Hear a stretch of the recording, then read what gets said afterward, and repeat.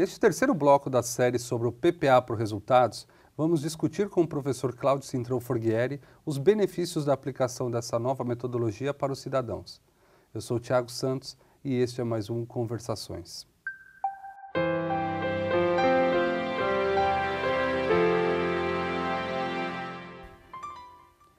Cláudio, a gente já começou a adiantar um pouco sobre o orçamento por resultados na área meio e que muitas vezes isso gera até alguns conflitos de personalidade interno dentro da gestão.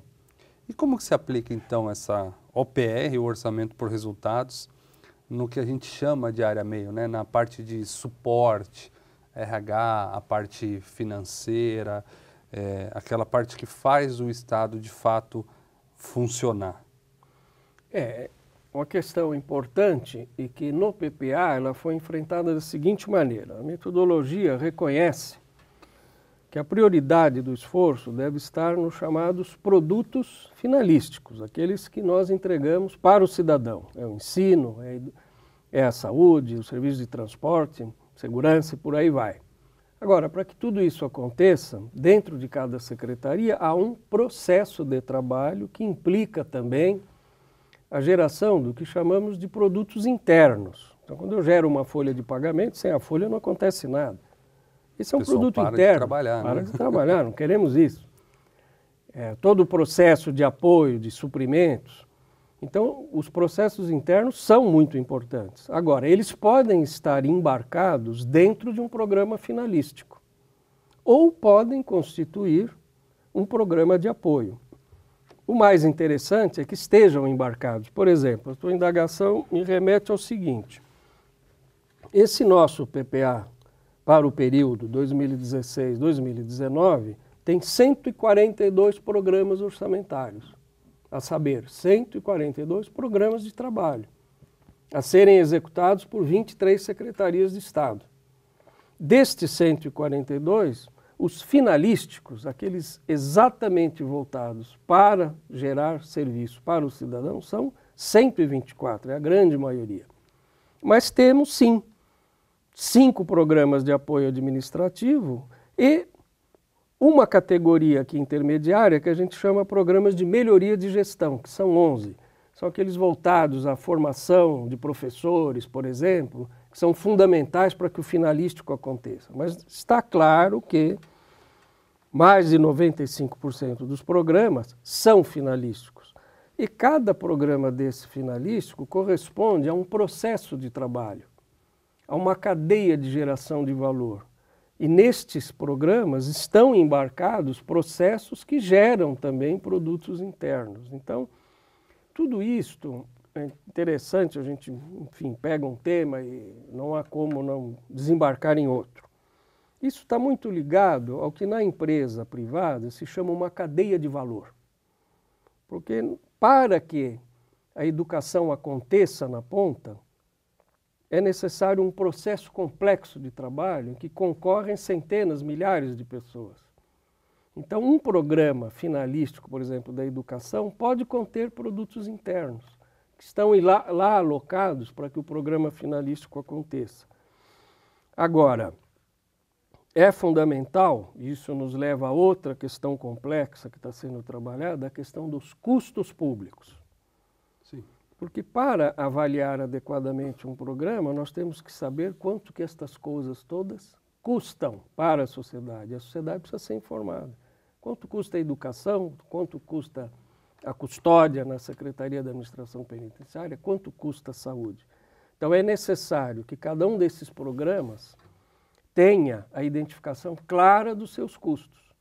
Ou seja, para que a gente saia de uma administração pública baseada num orçamento de despesas, em que eu te dou um dinheiro e você vai fazer o que você quiser com ele, para um orçamento voltado a programas orientados para resultados, que é quando a autoridade diz, você vai fazer educação, você não vai gastar dinheiro. Agora, para fazer educação, você terá recursos alocados e nós vamos aferir quanto custa a produção desses produtos e prestar contas para a sociedade. E essa diferença que você trouxe, que parece sutil, ela é essencial, né? porque gastar o dinheiro que eu te dou para gastar não pressupõe necessariamente que vá gerar resultado. partir do momento que você dá o recurso para o resultado, às vezes o mesmo gasto pode ser tido utilizado, mas a gente tem um vínculo direto né, com a realização do que foi comprometido, do que foi é, desenhado. Né? É um dinheiro que, em tese, a gente não vai gastar de forma pouco razoável ou se perder aí no meio. É, com coisas inócuas. Então, essa sua reflexão me leva aí alguns anos atrás. Eu sou alguns Sim. meses mais velho que você, então eu tenho que voltar. Uns três meses. É, um, não mais do que isso. Voltar aí mais de 30 anos para trás para te lembrar o seguinte. Infelizmente, a tradição brasileira de orçamento, eu tive aqui no governo do estado, tive no governo federal cuidando dessa área. Ao longo do tempo, é, nós tivemos momentos em que o orçamento público era um orçamento de despesa, com uma embalagem de orçamento por programa. Então, o que os órgãos queriam de fato é ter dotações de despesa para processar suas despesas. Eles realizavam muitas vezes programas em total de sintonia com o que estava no orçamento. Então, os programas orçamentários eram rótulos, eram títulos para que lá houvesse as dotações, e lá houvesse o empenho gasto. da despesa e depois então havia uma, uma dissintonia. Não vou entrar no mérito disso porque, enfim, seriam outras séries. Mas o que, que acontece? Quando a gente diz, nós começamos aqui a nossa conversa, você dizia, puxa, o que, que mudou? O que mudou fundamentalmente foi recolocar as coisas no lugar. Porque o setor público, quando tem um orçamento aprovado, o orçamento deve sinalizar o seguinte: você está autorizado a realizar este trabalho não é realizar essa despesa. O que a sociedade espera de você é realizar este trabalho com a entrega destes produtos, visando tais resultados, e você vai ser medido dessa forma. Você está sendo responsabilizado pela sociedade para realizar esse programa. Agora, é claro, para realizar o programa, você terá recursos para custear os insumos necessários. É, essa é, é, é a racional. Você vai dizer, puxa, mas eh, nem sempre foi assim? Não, nem sempre foi assim. Então, é, se a gente pega orçamentos de anos passados, também isso não é uma crítica, isso é, isso é histórico, é fácil, qualquer cidadão pode aferir. Você vai ver determinados órgãos públicos que têm orçamentos de despesa. Não tem uma objetivação do interesse público ali, não tem medidas claras de produto nem de resultado. Então, é, esta metodologia do orçamento por resultado que o governo do Estado começou a implantar em 2012 e implantou definitivamente em 2015 com o PPA, ela vem a recolocar as coisas no lugar com esta ênfase. O setor público vem ao mundo para atender necessidades. O orçamento público contém programas de trabalho que visam atender essas necessidades públicas. E o gestor será responsável pelos recursos que lá estão alocados, pelos produtos que ele gera e pelos resultados pactuados.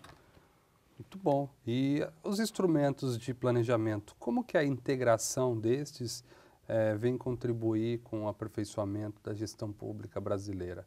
Como que você enxerga todo esse processo de integração que vem se acentuando nos últimos é, anos? Então, a gente observa no, em seminários havidos em outros países sobre essa questão da gestão orientada para o resultado, e mesmo um capítulo à parte, que é o orçamento orientado para resultados, que esse é, um, é, mais do que uma teoria de gestão, é uma doutrina, ou seja, um corpo de conhecimentos com um conjunto de valores embarcado. Então, eu diria que essa questão da gestão orientada para o resultado é uma, um assunto para corações e mentes. Se você não acreditar, você não vai fazer. E o que é acreditar? É acreditar que o Estado vem ao mundo para atender necessidades da sociedade. Não vem para atender suas próprias necessidades, nem para criar estamentos protegidos e misteriosos que consomem os recursos públicos de uma forma pouco transparente. Então, os países que, onde a gente vê essas coisas darem bons resultados são países que, em primeiro lugar, se convenceram pelo coração, que, em termos doutrinários, ideológicos, acreditam nisso e têm isso como um valor social a orientar o resto. A questão da mente é o mais simples, porque a metodologia é simples. Não dá é para a gente entrar nisso com um pé em cada canoa. Quer dizer, de um lado eu quero a minha proteção burocrática, Sim. gastar o meu dinheiro, não prestar conta. Do outro lado, eu digo que é bacana, que legal, a sociedade, o interesse do cidadão. É, são canoas que se separam e Abriu o um gestor vai cair. né? É, é inviável, ele vai naufragar. Então, acho que esses seminários havidos, e por isso que se fala tanto nisso, né, em todas as agências, Banco Mundial fala, ONU fala, Fundo fala, é a questão do seguinte, o gestor público, você acredita mesmo nisso? Está disposto aí? Você como governante, presidente da República, senadores, deputados, governadores, deputados estaduais, vocês acreditam nisso mesmo? É para fazer uma gestão fundamentalmente voltada para a sociedade? Precisamos enfrentar essa pergunta. Porque fazer este trabalho é oneroso. O orçamento para o resultado não vem ao mundo para tornar as coisas mais fáceis, vem para tornar melhores e dá mais trabalho. Não é para simplificar, para empastelar tudo, gastar o recurso de qualquer jeito. Não, é para separar. É para que haja programas focados em resultados, que produzem indicadores, que foquem metas e prestem contas à sociedade da realização das metas e dos seus custos. E você acha que essa lógica instituída pelo OPR, desde o, da edição da lei do PPA, agora com vigência a partir de 2016, já teve algum avanço que a gente possa perceber ou ainda é muito cedo? Como que você enxerga essa mudança até agora? A gente está falando de oito meses de... É, eu diria, retomando aí essa imagem que me veio à mente, mas sai também do meu coração. Esse envolvimento de corações e mentes já aconteceu no Estado. É muito interessante quando a gente encontra com as pessoas das secretarias, diversas áreas. Ainda um tempo atrás estive com o pessoal da Secretaria do Desenvolvimento Social. Como isto penetra e uh, me dá a impressão de que as pessoas estavam à espera de um start para que essa, isso pudesse se cristalizar e essa energia fosse canalizada. Então, acho que a primeira consequência positiva é esse envolvimento das secretarias de Estado e essa adesão incondicional. Isso já foi um, uma, um resultado bastante interessante. E a qualidade dos programas desenvolvidos. Está acontecendo o monitoramento do PPA por meio da lei orçamentária, porque executar o PPA de quatro anos é executar o orçamento a cada ano. Isso já começa a acontecer e os resultados parecem bem interessantes. Bom, Cláudio, eu agradeço novamente esse nosso papo, esse nosso terceiro bloco. Estamos nos encaminhando para o final, né, para o nosso quarto bloco, que na próxima semana a gente vai discutir um pouco essas perspectivas do PPA para o resultado. E agradeço novamente você que nos acompanhou nesse terceiro bloco e até a próxima semana.